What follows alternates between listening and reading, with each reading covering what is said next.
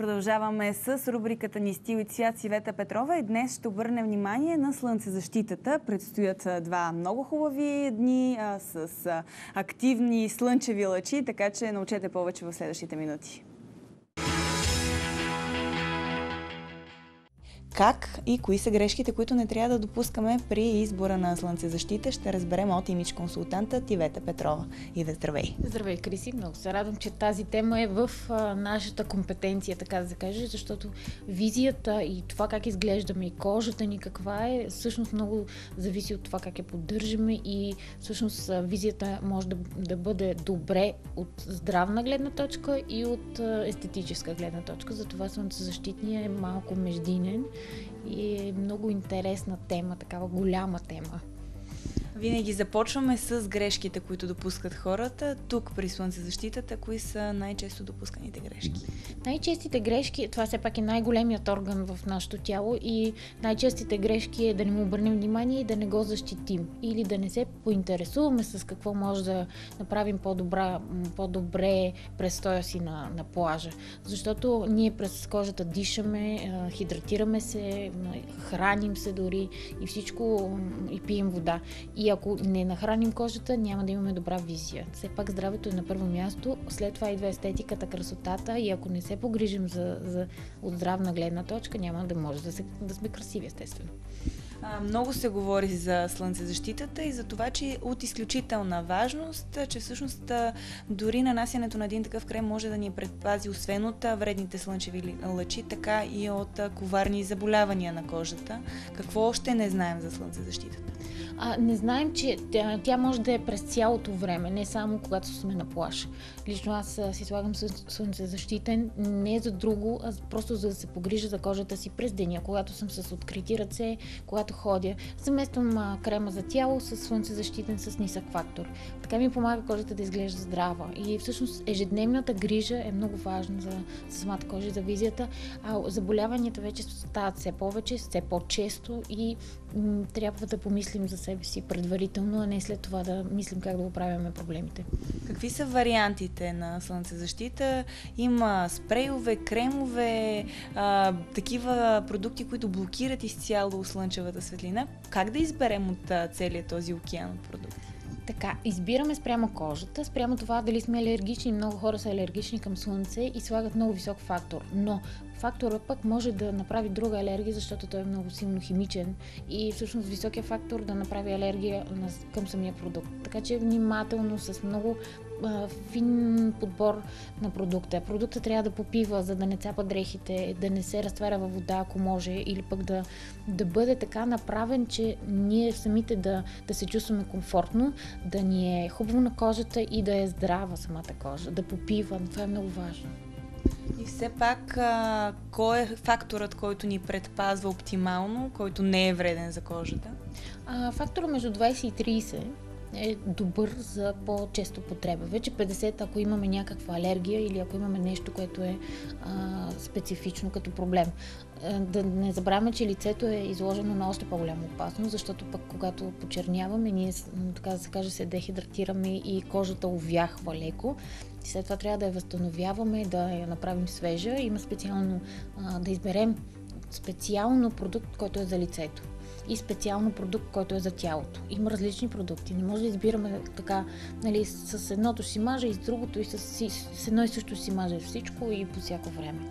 А, има степенуване. Първоначално може да направим по-силен фактор, когато отидем за пръв път на плаж, а след това да намаляме фактора и да направим много стъпки, които са. И подготовка, естествено.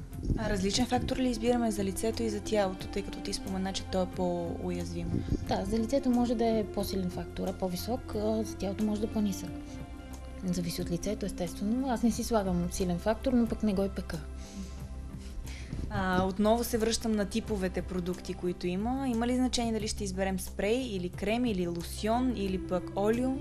Ами да, спрей е много а, хубав, защото той е първо, когато пръснем от, а, от разстояние, много бързо а, се нанася и тичащите дечица по плажа може да ги застигнем бързо с спрея и да, да нанесем продукта веднага, а не да, нали, да ги караме да седят, да, да стискаме ни туби и да правим някакви упражнения. Много бързо попива. И затова всъщност спрея е много, много бърз продукт. Той е за, предимно за хора, които нямат търпение или пък не искат да се намажат с пясък и всички останали неща, докато се мажат с слънцезащитно. И това е, е това му е предимството. Вече който каквото иска, има слънцезащитен 30, да речеме, който е кремообразен, с много финна текстура. Той прави а, много фин слой и естествено трябва да се нанася преди да отидем на плажа. Да речем в, преди да тръгнем дори, да мина 20 минути, за да може да попие и в същото време да, да навлезе в дълбочината на кожата. Ако нямаме преносители, които да го закарат в дълбочината на кожата, може да остане на повърхността и да седи бяло. Много често сме виждали по плажовете такива продукти. Те не са добри защото всъщност не защитават кожата и я запечатват. Тя не може да диша в този момент и остава така на петна, дори някой път, но някой път прави алергии. Много трябва да внимаваме какво слагаме на кожата си. А, когато жените се страхуват от остаряването, от, нали, когато излагат слънце, лицето на слънце, тогава се препоръчва този, който е антиейджинг. Има такива кремове, които са специално за лице, специално против обръчкови, против дехидратацията, която се случва така или иначе. И много е важно да поддържаме лицето си в този момент, защото там най-много може да пострада един много важен момент, който мен а, дълги години ме, така съм го пропускала. Аз самата не съм знаела, че съществуват такива продукти. Са продуктите за след плаш. Когато ние вече се приберем, кожата се, така да се каже, се изпекла и се дехидратирала тотално. Колкото и вода да пием, тя се дехидратира. Това си е нейно свойство. може да слагаме продукт, който е възстановяващ за да може кожата отново да, да се освежи, да се напълни самата клетка с вода, да задържи водата в клетката, не да се да избяга и всъщност това да доведе до здрава кожа. Защото дехидратацията, знаете как изглеждат моряците и всички хора, които са около морето с много съсухрана и набръчкана кожа. И всъщност това е момента когато се върнем и когато трябва да й помогнем тя да се възстанови, а не само да я оставим на плажа да се изпече.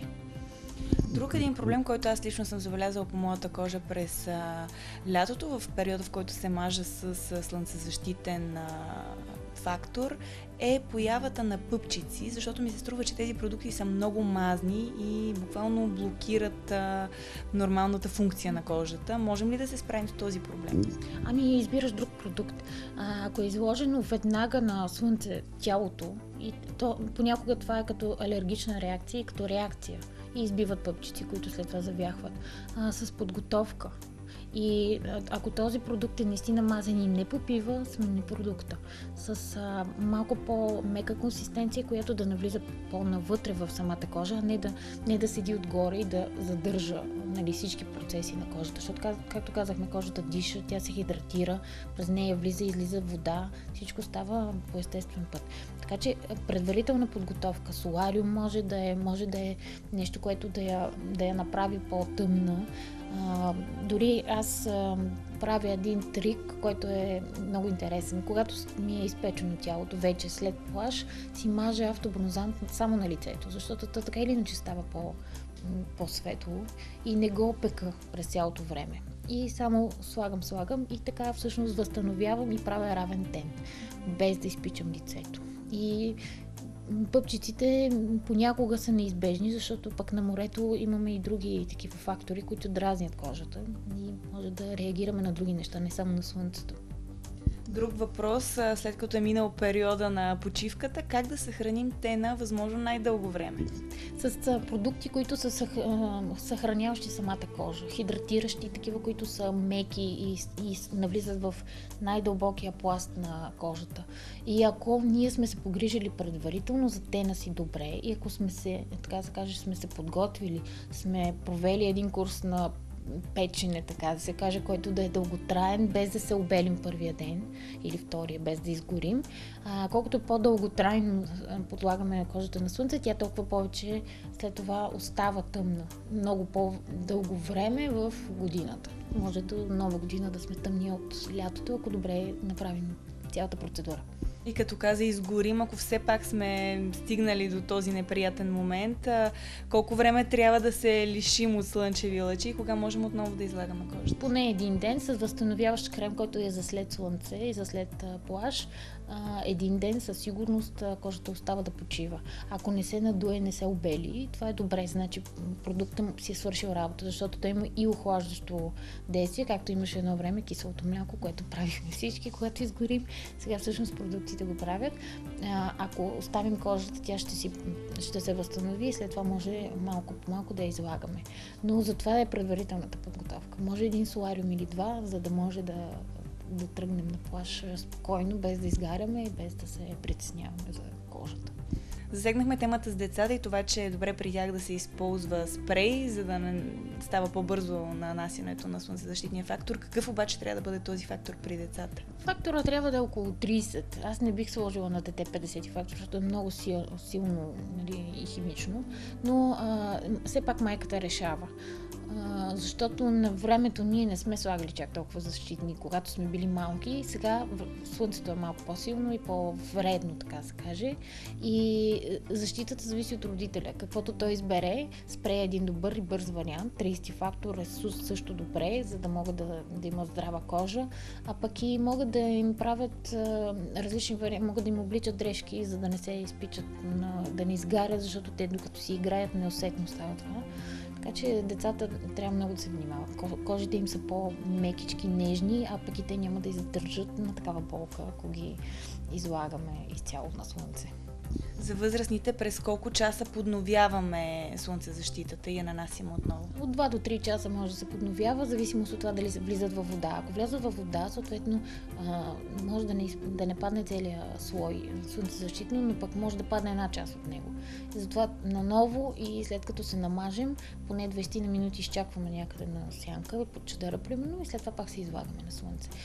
Трябва да се внимавам, защото наистина и първите дни аз това, което правя лично за себе си е да седя поне един ден или два под чадъра, защото там има много силно слънце, което ние, ние не усещаме. То ни, така или иначе, ни прави ден на кожата, без да излагаме кожата на опасност и да изгорим или да я направим каквото и да било някакъв проблем. Разбрахме как да изглеждаме ослепителни на плажа с Банския, как да постигнем здравословен и красив ден. Не обърнахме внимание на косата, обаче и тя, както кожата, се дехидратира и всъщност много често след почивката се оплакваме, че тя е станала като метла. Какво можем да направим за нея? Да, едно от нещата, което, може да направим е преди да отидем на почивка, да я пострижем леко, да не се притесняваме от това, че тя ще стане на метла, така или иначе този процес се случва. Колкото по-малко я мокрим, толкова по-малко метла става. Обаче, когато е изложена на слънце, тя също може да е намазана с нещо. Аз лично ползвам тези термо, термозащитите, когато намажем или олия, които са за краищата, връзвам я и така всъщност я запазвам максимално, да не, се, да не бъде видяна от слънцето.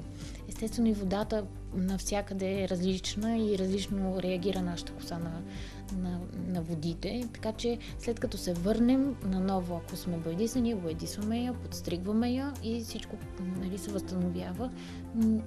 Може да я покриваме с шал, с шапка, с, може да я държим влажна леко, с, пак да я намазваме с олия постоянно да има такъв а, вариант. А, аз даже веднъж съм, без да си я намазах и със слънце защитно. Просто така стана. Косата реагира на това нещо. Даже стана на руси краища тогава. Тогава беше естествено. И аз а, много се изненадах от това всъщност. Би трябвало да е защита. Всеки си реагира по собствен начин, а, но постригването и мазането с различни продукти, олия ще възстановят. Продължаваме с клуб арт на Ивелина Кунчева. Най-любопитното от света на изкуството вижте в следващото видео.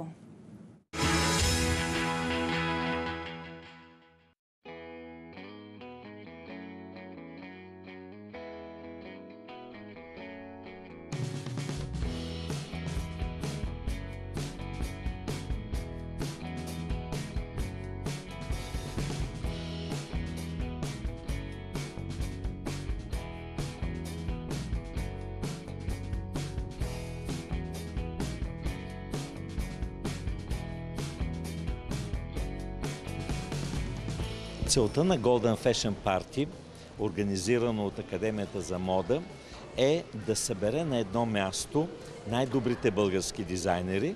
Това са носителите на Златна игла, тази висока, най-висока българска модна награда, заедно с представители на новата генерация дизайнери, а именно студентите по мода от Националната художествена академия, както и редица утвърдени наши модни къщи и други дизайнери. Идеята е в края на активния сезон ние да покажем, че в България има общество, което цени красотата, изискания стил, елегантността, да видим най-новите предложения, но разбира се и да отдадем нужното уважение, почет и респект на тези заслужили български творци, благодарение на които статута на българския моден дизайн е толкова висок, толкова авторитетен, толкова влиятелен. Говоря за тези легенди на българския моден дизайн, носители на Златна игла, като Мария Неткова, Йорданка Чернаева, Даря Манченко, Жана Жекова, Евгения Живкова, Албена Александрова, от по-новите носители София Борисова, от най-новите генерации Теодора Спасова, Николай Божилов и редица още други. Тази вечер ще бъде показан и специален модел произведение на дизайнерът на 2016 година Светослав Колчагов и много-много други прекрасни творби.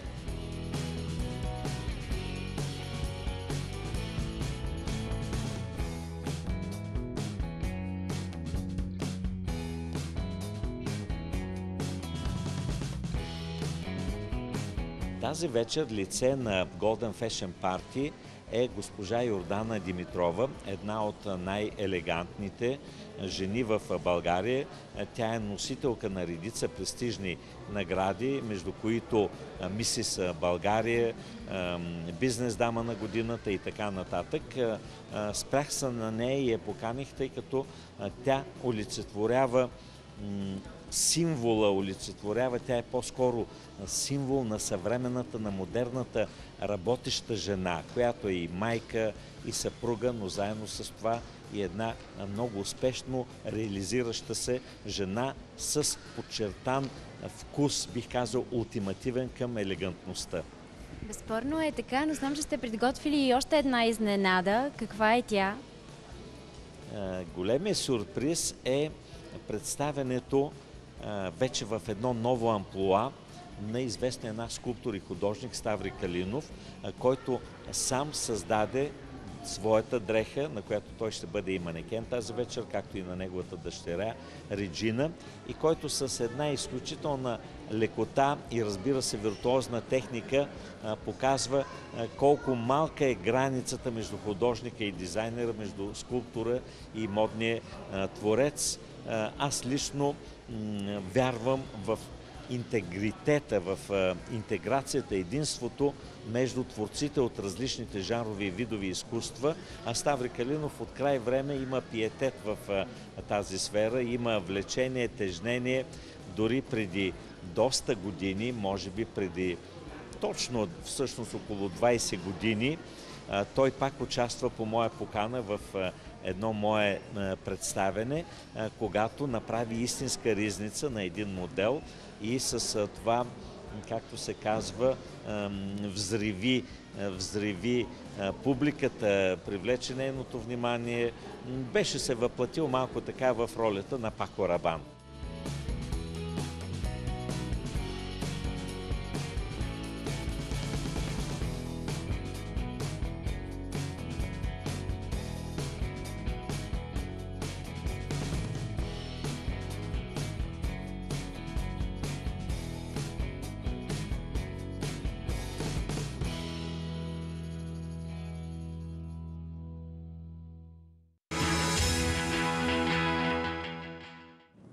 Продължаваме с рубриката ни лица. Днешната ми гостенка е млада, красива и много талантлива, коя тя разберете от най-новото и видео. След това започваме и разговора в студиото.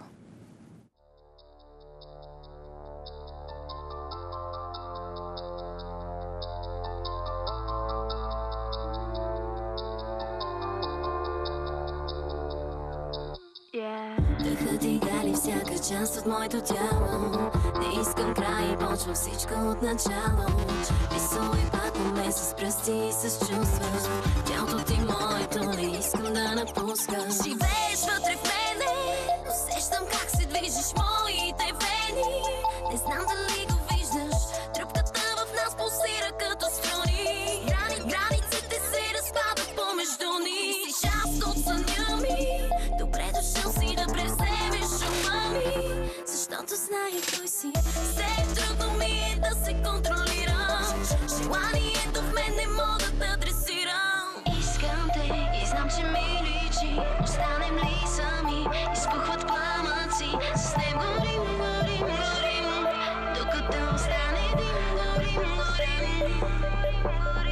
Искам те знам, че ми личи Останем ли сами, пламъци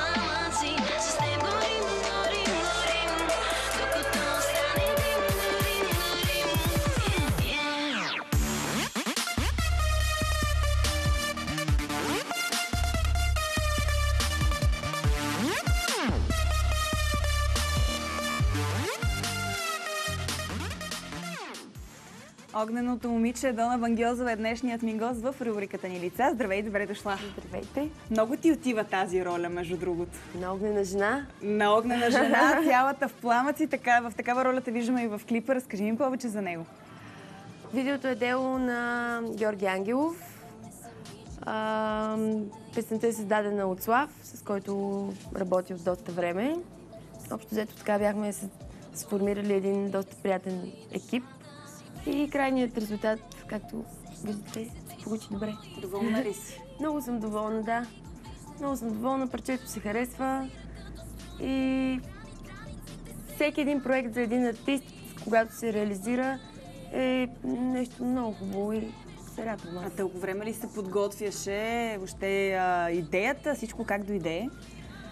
Идеята беше изцяло на Слав, който, както казах, се погрижи за музика, текст и аранжимент. А, предложи ми това парче, аз много го харесах. Завършихме го, записахме го, но установихме, че му липсва някакъв цвят и затова отправихме предложение към Алекс Пи, който така прегърна идеята и се включи в проекта. Получи се доста добре. За първи път ли работиш с него? Да, за първи път работи с него. Добре се сработихме. Той прояви изключителен професионализъм, за което благодаря. И съм много щастлива. Доволна си. Доволна съм. Как да. се приема? Има отзиви вече, предполагам, от а, хората, които харесват твоята музика. Ами, доста добре се приема. В интерес на истината има голям интерес. Много съм щастлива и благодаря на всички, които съпортват, коментират, харесват и подкрепят всичко, което правя. Пък и тези, които не харесват, защото в крайна сметка не Абсолютно, може това също е мотивация, да, те, да. да те одобряват. Имаш ли възможност да представиш на живо пред публика? Вече знам, че е много ново парчето, но все пак Да, имах възможност и така тръпката беше страхотна. хората? Избухват. Даже днес също ще пътувам за участие и ще имам възможността пак да, да изпея. Така че къде ще бъдеш днес? днес съм в Троян, където ще се осъществи така един доста голям концерт с а, цел а, ам, разумното правене на секс. Много добре. Подкрепяш ли такива каузи? Подкрепям го, да, подкрепям го изцяло. Отправиха ми покана да участвам, да се включа с концерт и аз прегърнах идеята и приех, тъй като смятам, че е хубаво да има такива организации, които да насочват младите към... А пък така или иначе, твоята музика се слуша от изцяло, да не кажа, от млади хора. Важно е да имат послание както песните ти, така поведението ти, въобще каузите, в които се включваш. Абсолютно. Мисля, че ние артистите трябва да подкрепяме точно такъв тип каузи, защото имаме нали, даден брой фенове, които се повлияват от нас и това ги мотивира да бъдат в правата насока. Каза, че и до момента а, си представила на различни участия песента и ти предстои а, през лятото какво ще се случва, къде ще се озовеш, ще си почиваш ли, ще работиш ли, как а, го виждаш? Мисля да ги съчетая двете неща, приятното с полезното.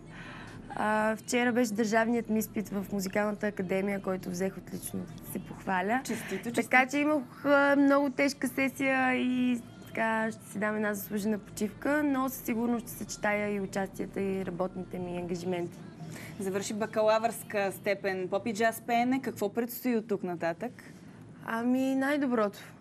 Винаги си казвам, че най-доброто предстои. От гледна точка на образование а, ще продължа с магистърска степен в Музикалната академия при доцент Алис Боварян, на която много и благодаря. Сега ако гледа специални поздрави.